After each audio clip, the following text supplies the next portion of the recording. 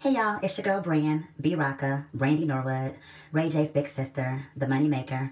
And while Monica is getting her makeup done because she needs a little more time, I'm gonna give y'all a little bit of my little somewhere over the rainbow. So enjoy.